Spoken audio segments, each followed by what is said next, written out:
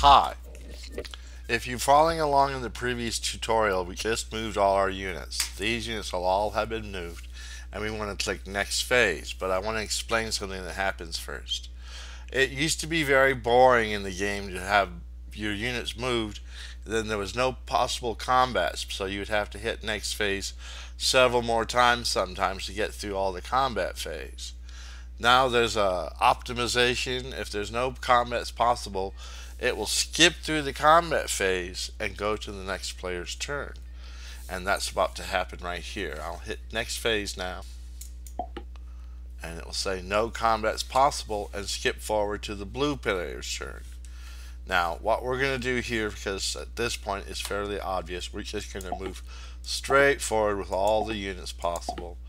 And see you in the next phase of the tutorial where we start to talk about combat, the, the ramifications of it, and how to engage in combat. Thank you for watching. I will see you in the next tutorial. Have a nice day.